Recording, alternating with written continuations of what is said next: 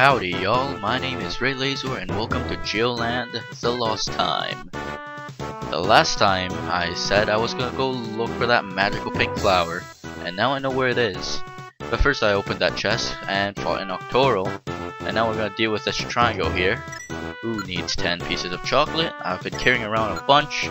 There we go, we got our EXP and our gold. Alongside that, off screen I decided to go level up now we got an unused stat point and a skill which is called Omega. Now we're gonna go after the flower and the stat point. So Omega uses 90 FP I believe and I think that would be necessary to beating the game. First we gotta take out this Tri-Skate so let's try out using the Neo Alpha attack which is exactly like the one we saw in the first game. If only it would hit. There we go. Not that much. But it'll definitely be useful later on. When we're fighting the final boss. Which I've already seen. Because I had a failed recording of it. But let's not worry about that. We have a Tri-Skate to deal with here. Which is almost dead. Just ice tackle it one more time. And maybe one more time. And miss. Come on, Svar. I know it's been a while, but you can't get rusty like that. And there we go, we found a silver ring. Next, we have 1700 gold and the magical see ring. So we're going to put all our points on force rather than speed. So that'll be 3 stat points, which we put all 3 on. And that will bring our force to 300, so we can use our new attack multiple times. And with that, let's wander off back home and go show that guard that silver ring, shall we? Of course we have to engage with magic boxes still. Just run away from them. I'm not really sure what else I did off screen, I don't remember. I know I had a failed recording when I attempted to kill Zaki and that failed miserably, so at this point I really don't know what I'm recording, so that's really fantastic.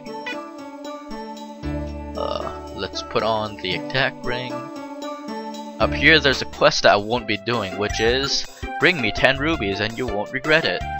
Unless I randomly find 7 more, I probably won't be doing it, because rubies are really hard to find in this game. So we'll have to say no to that. And now we're gonna wander off into town. Teleport in. And we'll see Mr. Guard right here. Hello guard, you'll need the royal silver ring if you want to see the king. Well, there we go. You have the ring, you can go in. These guards don't really do anything, or do they? No, no they don't. Alright, well, we're in the castle now. Hello, Mr. Guard. Since this morning, the Yak statues have gone crazy. Please help us calm them down. Beating 15 of them should be enough. Alright, well let's take a look at one of them. The Protector level 27, 1700 health. That is, that is quite an amount. There's the human version of it. That does quite a bit of damage. Um, I guess we'll just ice stab our way through then. Now I'm probably to be killing the rest of these off screen. And I plan on using all the FP and MP on him. I'll go back out and buy some FP and MP items afterwards though. So, we kill you. And that's one of 15. I will see you back shortly. Alright, I'm back. And we've killed all 15 protectors and got a level up at the same time. I'm just gonna put that on force and hopefully get 400 FP, which is the case. And the guard will give us 750 EXP and 80 gold. Now with this 400 gold in pocket, we're gonna go buy some more supplies. Because I sort of used pretty much all of them.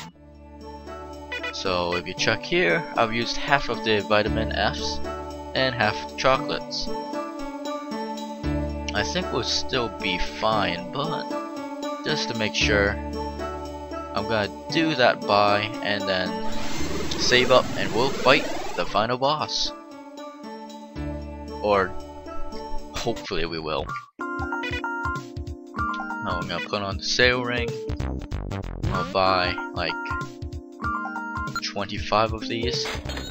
And then we're gonna spend the rest on chocolate. Alright, don't know how to do math. We're good. Because we don't really use those vitamin M's very much, so I'll just hang on to those like that. Now we're gonna roll over, save our game at level 25,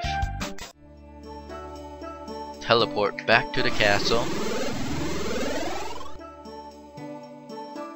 put on the silver ring,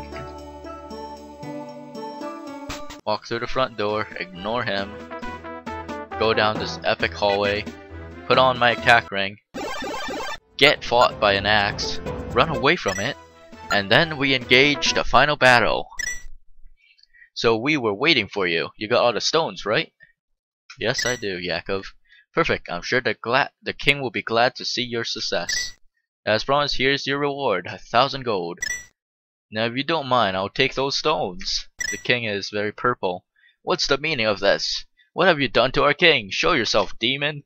Meow, bubbles. Let's just say those three stones I will finally collide our worlds. But sadly, it's the end of the road for all of you.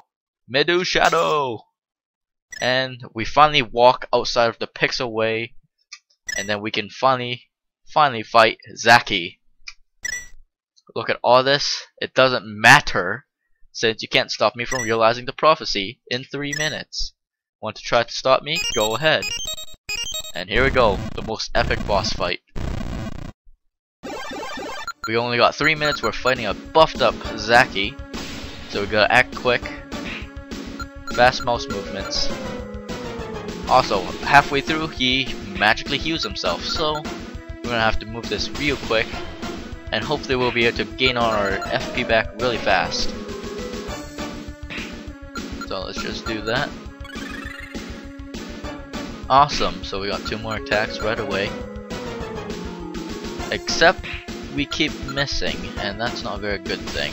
There we go, we got a critical. That's pretty good. Although we still need to move really, really fast. And we still keep missing, which is really unfortunate. Really. Alright, so this is clearly not going very well. I'll just use another vitamin. We'll deal with our help once he fully heals himself. Which will be very shortly. That's an alarm bell and a dog. Oh fuck you game, I'm not stopping. Hehe, you won't get rid of me that easily. And then he full heals himself. And that that's annoying. But we still have a good 220 seconds to spare. So hopefully we'll be able to kill him in time and hopefully my dog will stop barking. Wow.